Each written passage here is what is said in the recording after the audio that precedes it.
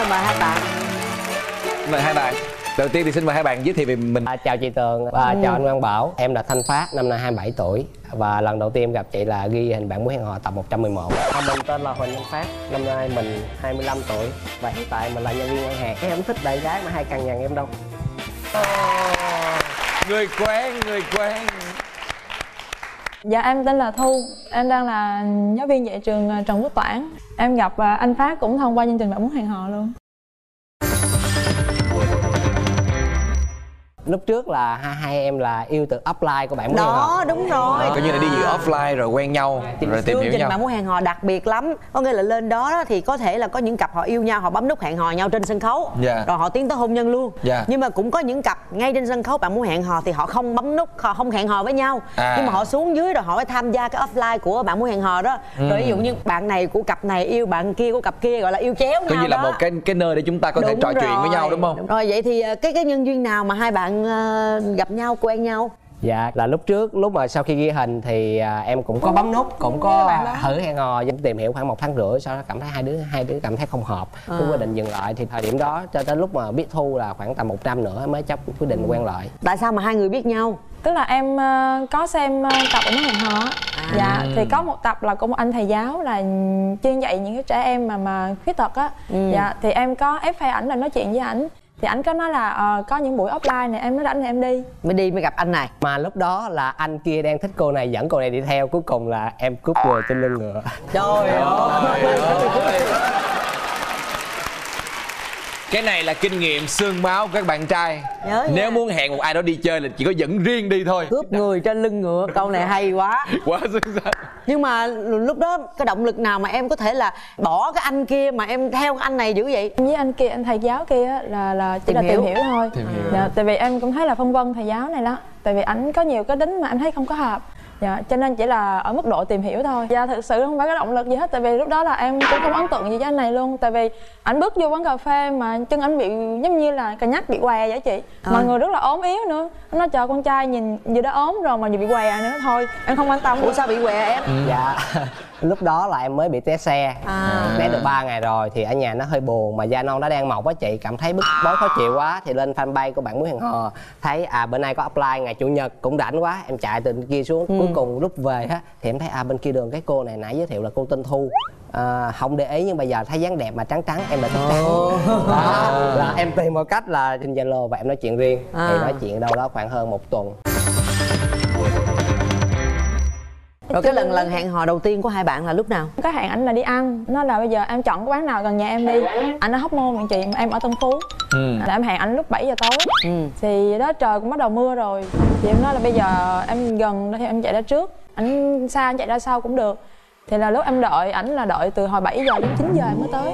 Là em bị leo cây đến gần nói chung hơn tiếng đồng hồ. Kỳ vậy? Mà có sao quán ốc hẹn- mà rồi chị tưởng tượng là đó là rất là nhiều người nhậu người uống bia đúng không mình con gái mình ngồi mình kêu ốc mình không dám ăn. Có mình mình anh ăn mình rất là kỳ. Tại sao mà mà hẹn mà, mà, mà dạ đúng rồi. Làm sao mà tới hai gần hai tiếng đồng hồ lận? Cái cái lần này là lỗi tại em thật. À, lúc đó em bị nhớ lộn giờ. Anh nói là anh đang trên đường đi đợi anh chút.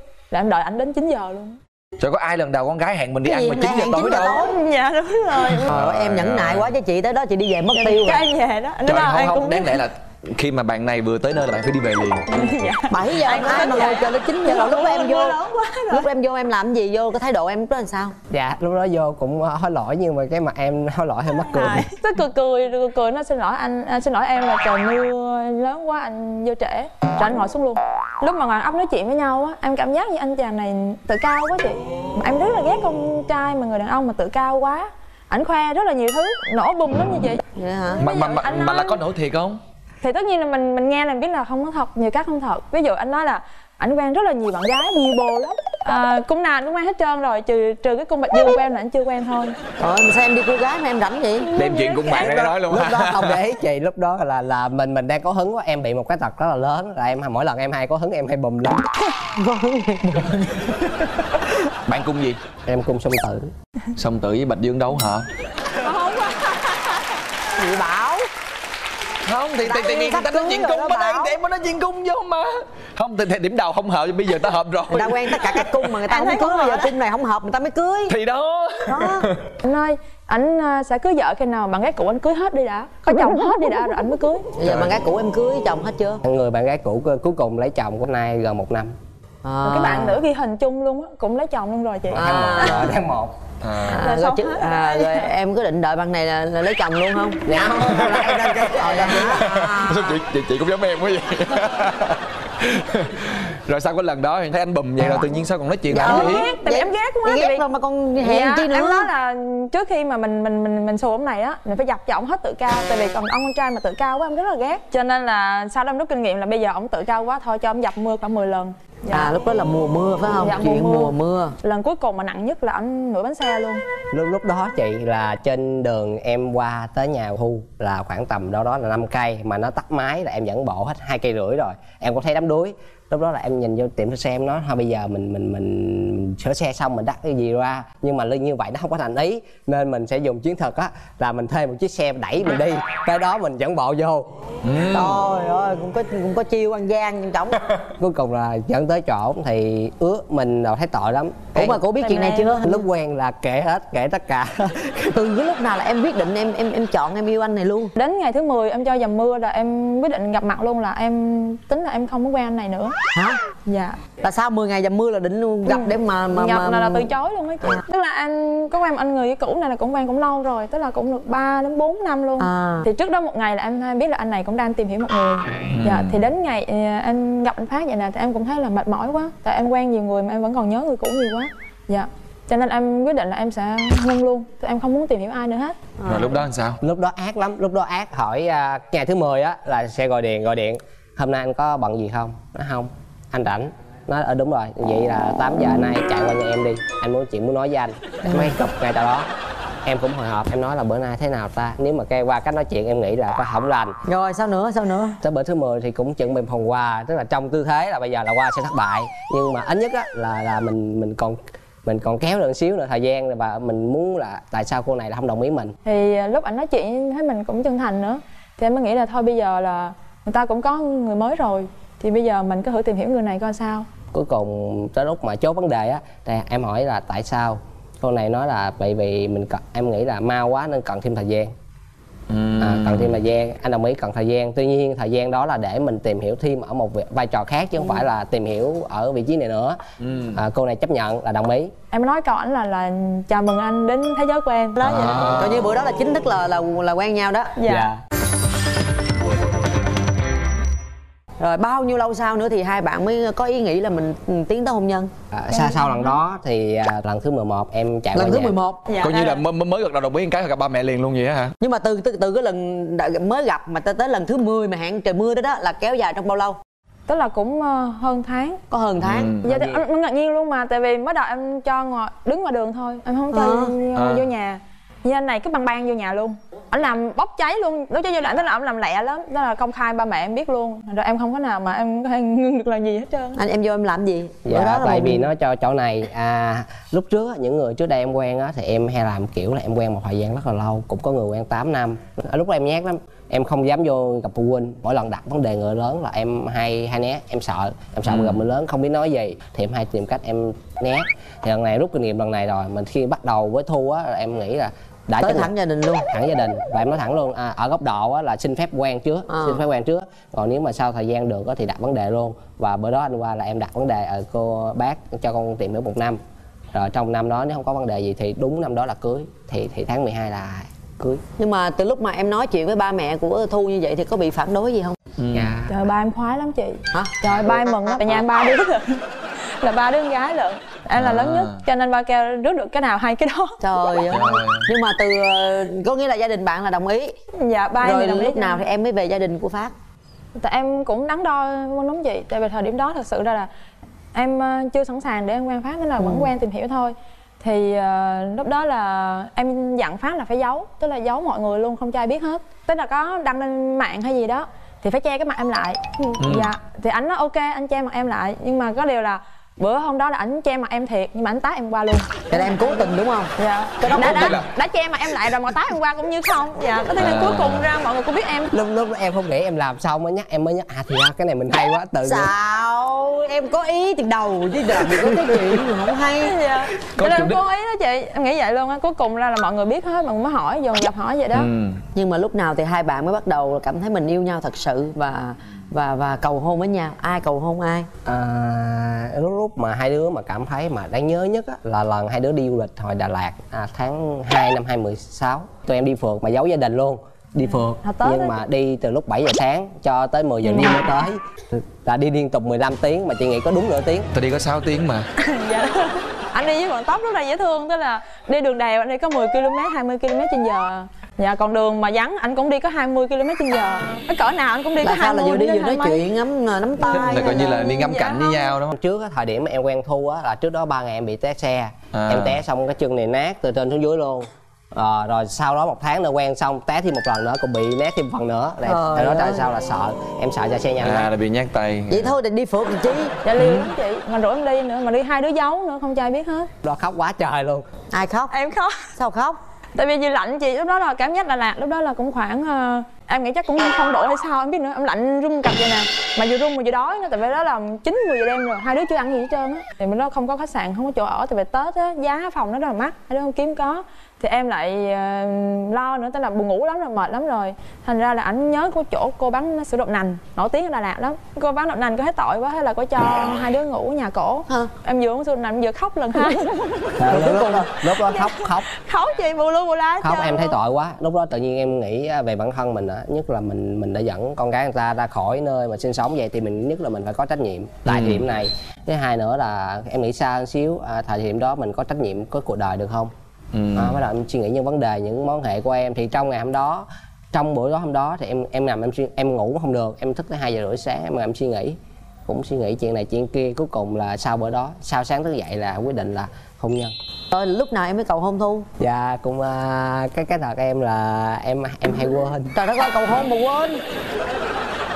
Nói chung là ảnh quên đến mức mà nhiều khi là kỷ niệm hai đứa là ảnh cũng quên luôn. Không nhớ cái gì hết chị cuối cùng là bạn còn nhớ được cái gì trong mối tình này? Cái, cái tính em hay quên nên mỗi lần em muốn cái gì á thì em phải ghi ra giấy. Nhưng mà mỗi lần em bỏ quên cuốn sổ là em quên luôn em không nhớ bữa đó em phải làm gì. Trời ơi rồi không nhớ làm gì nhưng mà rồi, rồi, đi chung rồi rồi không có cầu hôn mà có tân hôn không? Dạ chưa. Chưa hả? Có không? Dạ chưa dạ chưa. Quên luôn hả? Cái là không hay quên nhưng mà cái đó là nó thời về cái nó phải đúng thời điểm và nó nó, nó tại vì em quan niệm truyền thống chị em đi dạy á cho nên À. nhiều khi là à, ở mặc dù ở khách sạn chung nhưng mà hai đứa ở chung một phòng luôn mà em nói là chị sắp cái nào mà hai giường á chứ đừng để chung một giường dạ. phải hai giường mới chịu. Còn nếu không em ra chỗ khác cho nên đêm đó là không kiếm được phòng là vậy. Cuối cùng cô bán đậu nành mới cho ở nhờ nhà cổ đó. À, rồi ở chung là nhà cổ thì chung một giường hay là hai giường? Vẫn có hai giường. À. hai cái nệm riêng. À. dạ tại vì cô bán cả đêm. Nhà cổ hay quá ha. dạ. Tự nhiên cái vô tình quá ha cái mình sẽ đâm trước vậy đó. Ờ sao đâu mà hay hai đứa ngủ nắm tay nhau ngủ được ok. À. nhưng mà rồi còn- bây giờ tới giờ tại sao chưa cầu hôn dạ, em mà- cũng không hiểu nói anh bây giờ đã biết Ủa, rồi có tính không? Tính tính hôn không? cưới Dạ. là em chọn ngày cưới đại nhà hàng chụp ảnh Xong cưới hết rồi luôn rồi chị. 24 tháng 12 24 tháng 12 dạ đúng ủa rồi sao Nè. tính tính cưới hết rồi mà, Mà chưa cầu hôn. là sao cái này nó ngược quá vậy dạ em cũng thấy vậy đó ủa là giờ cầu hôn chưa dạ chưa ủa sao vậy trời ơi quên mà từ tháng 2 là năm ngoái cho tới bây giờ nhưng mà từ cái lúc đó coi như từ cái lúc ấn tượng ở Đà Lạt đó đi cho đến tận bây giờ thì hai bạn có những cái nào xung đột gì dữ dội hoặc là cái gì mà hai bạn không hài lòng với nhau dạ tại vì à, em nói thật ra là em rất là giận ảnh tại vì ảnh tính anh hay quên giống vậy đó. Ảnh hay quên nên thành ra là suy ra là ảnh vô tâm luôn. À. Dạ ảnh rất là vô tâm trong rất là nhiều vấn đề. Ngày lễ tốt nghiệp của em tức là em học thêm cái văn bằng hai nữa. Em báo ảnh trước hai ba ngày rồi mà cuối cùng là đêm hôm đó anh đi chơi với lại ờ, nhân viên với lại mấy anh chị trong ban quản lý á. Anh đi chơi rồi anh ngủ ngoài em quên mất luôn. Em giận tức là em im luôn không nghe máy luôn. Anh tự nhiên nó không người ta có chồng rồi có người yêu tới tặng bông tặng hoa mình đi mình lên không kỳ vậy em xem Dạ. vô tâm quá vậy. Buồn lắm chị. Xong sao rồi quên mà có thể điện quên mà quên quên mà quên coi như là quên bất chấp luôn vậy. Dạ. Dạ. tức là quên đó rồi em điện thoại em tức quá em điện thoại điện thoại anh mới chạy lên lên cũng mua bông mua quà tặng.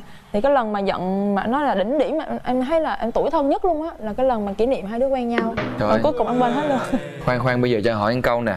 Hỏi riêng phát thôi có khi nào sau này mình lấy vợ xong là mình quên luôn mình có vợ không? Ai cũng nghĩ vậy? Tự nhiên làm bận bận việc quá đi du, đi du lịch xa- xa quá xong thì không biết mình có vợ ở nhà hay không nữa. Cái này cũng à, anh cũng xin lỗi à, em ở nhiều chỗ á, nhất là anh tính là cũng vô tâm. À, Ừ. nhưng mà chắc cũng nhờ chương trình này là anh anh biết là cái điều này nếu lặp lại nhiều lần quá thì sau này chắc chắn không tốt cho hạnh phúc gia đình. Đúng. Đúng rồi. Bây giờ làm sao mà khắc phục được cái chuyện đó bây giờ mà em ảnh chưa khắc phục được mà sao em đồng ý lấy ảnh chi vậy? Ừ. tại vì em thấy ảnh có phấn đấu và lại nghiêm túc trong mối quan hệ của, của em với ảnh. Trong tất cả những mối quan hệ em quen á những người em quen á thì họ đều hẹn em là ờ đến năm 30 tuổi rồi hãy cưới. Hay là đến khi nào mà có sự nghiệp rồi hãy cưới. Vì anh này là chắc cú năm nay là phải cưới và cưới bằng được em luôn. Là làm mọi thứ cố gắng để mà cưới bằng được em. Thì em thấy anh này là có chí tiến thủ còn cái tính vô tâm của anh có thể là khắc phục từ từ cũng được. Coi như là tuy là vô tâm nhưng mà có cái sự kiên định Dạ. và hứa thì cố gắng làm. Dạ, đúng rồi. đúng không? Dạ. thôi vậy cũng được. Bây giờ nếu như trong chương trình ngày hôm nay em muốn nói một cái điều gì đó với ờ, người vợ tương lai của mình thì em sẽ nói gì? Em mong muốn điều gì? Ở ờ, à. cho em hành động nữa. Được em muốn làm gì em làm. Bây giờ chỗ này là của em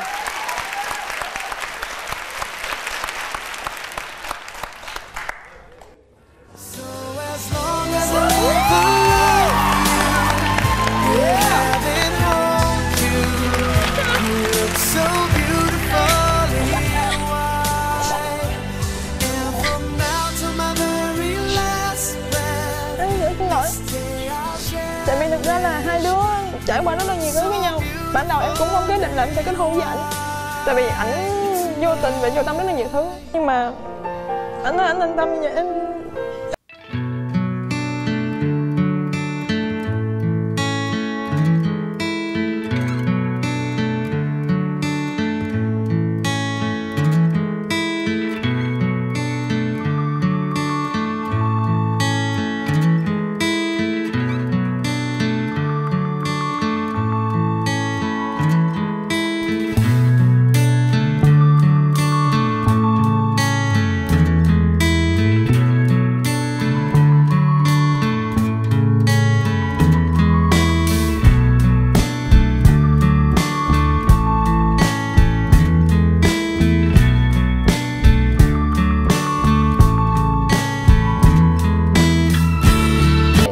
sẽ cố gắng sửa đổi những tật vô tâm của anh. Anh sẽ cố gắng lo cho em hạnh phúc tới cuối cuộc đời. Tin tưởng anh. Anh anh yêu em